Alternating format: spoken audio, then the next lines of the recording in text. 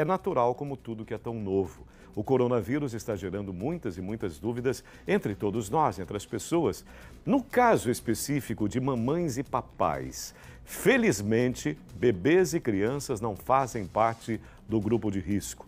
E é também por esse motivo que muitos pais ficam na dúvida sobre quando devem levar seus filhos ao hospital.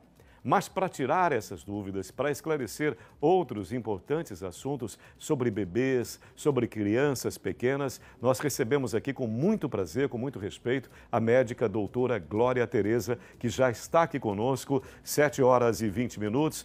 Doutora, seja muito bem-vinda. Bom dia, como vai? Bom dia, bom dia a todos. Estou aqui com muito prazer para tentar colaborar no que eu puder. alegria é nossa, doutora. Ministério da Saúde, OMS, também nos relata exatamente esta reduzida incidência, quase insignificante, com relação ao coronavírus, o Covid-19, nas nossas crianças, em nossos bebês. Há um, alguma razão concreta para que isso aconteça, para nosso alívio, diga-se de passagem, doutora? Realmente é um alívio né? porque historicamente as crianças e os idosos sempre são os grupos vulneráveis.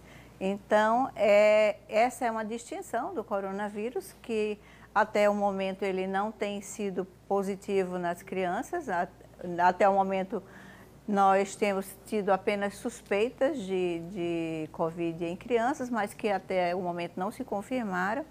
Fora daqui, fora do Brasil, como a epidemia se instalou de forma muito agressiva, nós tivemos contágios através das gestantes, né, das crianças que nasceram é, de mães é, infectadas. Então, nessas crianças foram encontradas o vírus.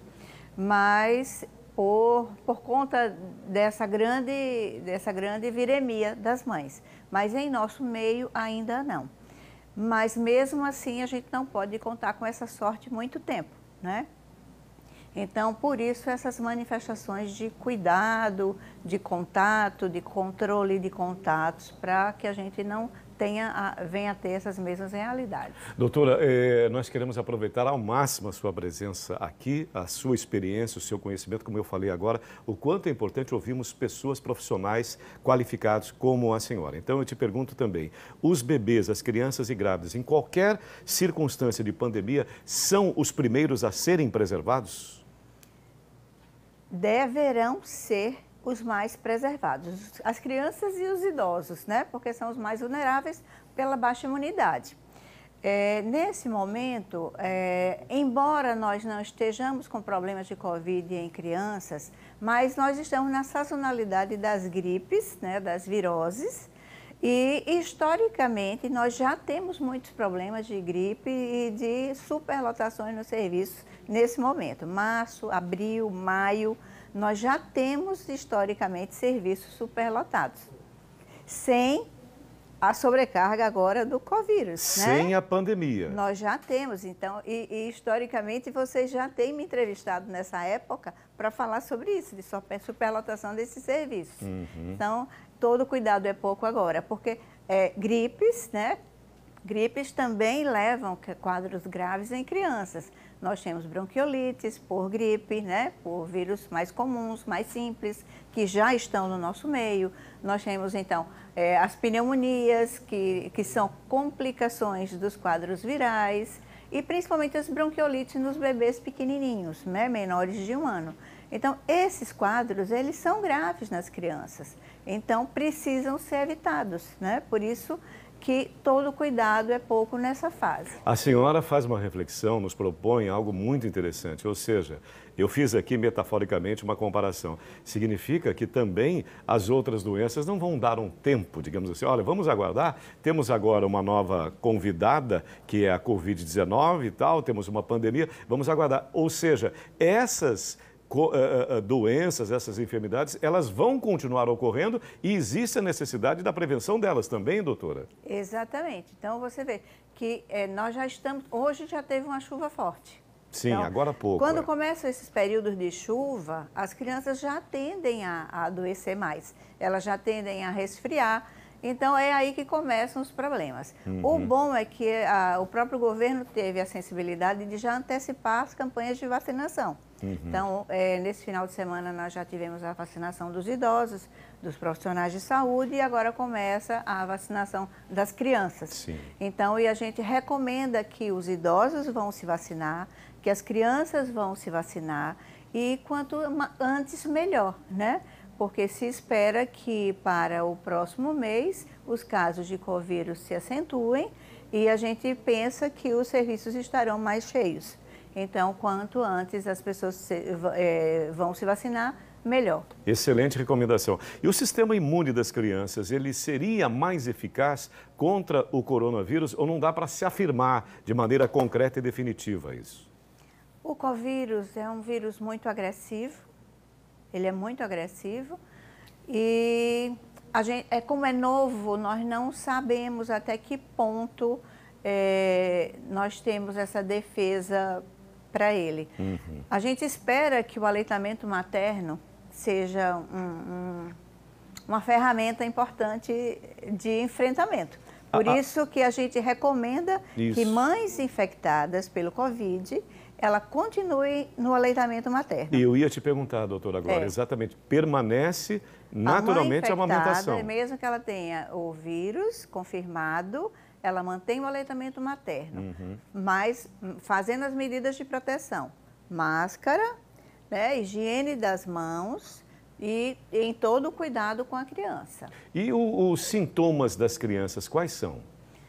Então, os sintomas das crianças, eles têm sido um pouco diferentes, inclusive trazendo isso fora do Brasil, uhum. trazendo alguns sintomas diferentes dos adultos. É, tem os sintomas de tosse seca, garganta dolorida, é, dispneia, que é a falta de ar, que leva a, aos sintomas de pneumonia, mas em algumas situações elas apresentaram também diarreia, vômito e dor abdominal, é, quadros de obstrução intestinal mas isso só foi visto em poucas crianças, mas fora do Brasil. Fora né? do Brasil. E os casos que foram a óbito fora do Brasil eram crianças que tinham comorbidades importantes, tipo leucemia, eram crianças que já tinham doenças graves associadas. Hum. Doutora Glória, nós por motivos óbvios, nós tivemos um aumento, até pela situação tão especial que vivemos, um aumento muito significativo da nossa audiência. A TV aberta, pela credibilidade, ela vem crescendo em termos de audiência de uma maneira impressionante. Isso é muito bom. E as pessoas estão agora em casa, até pela chuva que a senhora citou, é, eu te peço exatamente o seguinte, doutora Glória Tereza, que nesse momento a senhora se dirija aos pais e também às mães. Quais são os cuidados específicos necessários? E a senhora também citou muito bem as outras doenças decorrentes desta nossa fase, desse nosso período do ano. Quais são os cuidados específicos para os nossos pequenos?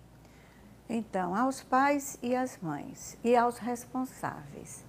Olha, o momento não é para brincadeira. Nós, profissionais de saúde, estamos muito preocupados, principalmente nas próximas semanas. Então, a reclusão domiciliar, o isolamento domiciliar, que não deve ser visto como um castigo, uhum. deve ser aproveitado para interação com as crianças, deve ser aproveitado para colocar as crianças é, em atividades lúdicas, para diminuir o estresse dentro de casa, pela, pela, pela falta de atividades ao ar livre, né? Então, deve ser aproveitado para estreitamento de laços, aproveitar esse momento que a gente não tem no dia a dia. Mas ele é muito importante porque evita o contato entre as pessoas e evitando o contato entre as pessoas, a gente quebra a, a, o mecanismo de transmissão do vírus entre a população. E com isso, nós vamos diminuir o contágio. E isso vai fazer muita diferença lá na frente porque nós teremos menos pessoas infectadas. Isso vai reduzir o número de pessoas que vão precisar ir para o hospital, reduz o número de pacientes que possam estar gravemente doentes, reduzindo a necessidade de leitos graves. Então, essas medidas que nós estamos precisando que sejam feitas agora, essas medidas também de higiene, de proteção por máscaras, limpeza das mãos, elas são muito importantes e elas só serão valorizadas quando nós tivermos esse impacto de redução de contágio e redução de adoecimentos muito em breve. Doutora Glória Tereza, é, deixa eu só fazer uma observação rápida. É, o quanto é importante ouvir de novo É muito importante ouvir profissionais como a senhora. Nós temos um fenômeno de comunicação chamado escassez da atenção. Então, nós somos bombardeados o tempo todo por várias informações. Então, eu sugiro a você que está nos assistindo que assista pessoas com essa qualificação da doutora Glória Tereza, que saiu de sua casa, chuva, veio até o nosso estúdio para compartilhar esta informação, esse conhecimento. Essa é minha proposta. Te agradeço demais, doutora Glória, pelas informações, de maneira equilibrada, tranquila. Nós precisamos desse tempo. Eu pedi à produção, vamos estender quando o assunto realmente vale esse tempo. O tempo, ele pode ser nosso maior aliado e pode ser nosso menor, pior inimigo. Coronavírus, a informação pode ser a nossa maior aliada, a desinformação é a nossa maior inimiga. Doutora Glória, muito obrigado, um bom trabalho para a senhora. Foi um privilégio te receber em nossos estúdios. Obrigada. E fica a máxima: cuide de quem ama, de, cuide de quem você ama. Fique em casa. Fique em casa. Obrigado, doutora. Muito obrigado pela sua participação.